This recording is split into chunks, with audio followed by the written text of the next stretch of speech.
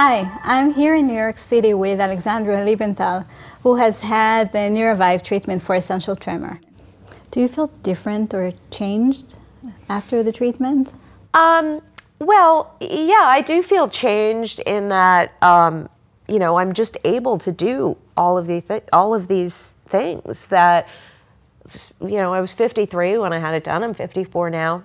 50 years I have not been able to do things. I mean, that's incredible. It's depressing that I've been alive that long, but um, you know, the incredible that for 50 years I was hampered by these basic things. Wow. Yeah, yeah.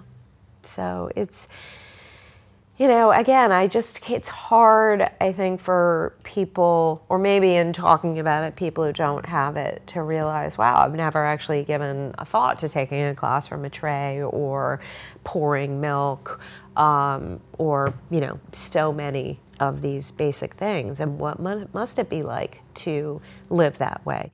So, what, what would be your words of wisdom for anyone out there? Uh, watching us? Definitely explore it. Um, talk to the neurosurgeon, neurologist, um, understand the process. Um, watch the, the videos or read the stories of me and other people who've had it done. You you all are very good about posting on Twitter different different stories of different people. Um, and I think, like me, I would hope, like me, everyone who's had it done is happy to share their experience. Um, and you know, again, just take the take the perspective that you're really changing your life, and your hair will grow back.